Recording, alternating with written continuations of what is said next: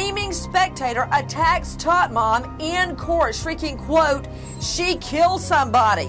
Straight out to Jean Casarez, legal correspondent in session. What happened?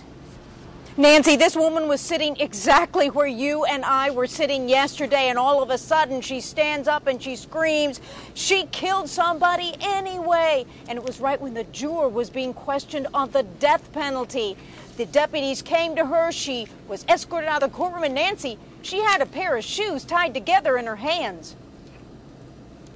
Okay, so my question is how did she get in to start with, Jean? Who is this lady? And what is what's her axe to grind against Tot Mom? Everyone, for those of you just joining us, number one, a screaming st- spectator attacks Tot Mom in the courtroom in the middle of jury selection, but that didn't stop the judge. We have a jury. A jury is sworn in, and we are headed to the Orlando Orange County Courthouse for the very first witness in the case against Tot Mom.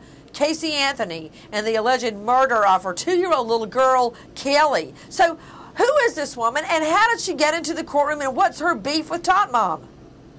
Her name is Elizabeth Rogers, and there is security to go into the courthouse, not the courtroom. But Nancy, all the security in the world wouldn't stop her from yelling out the way she did today. And how close did she get to Tot Mom?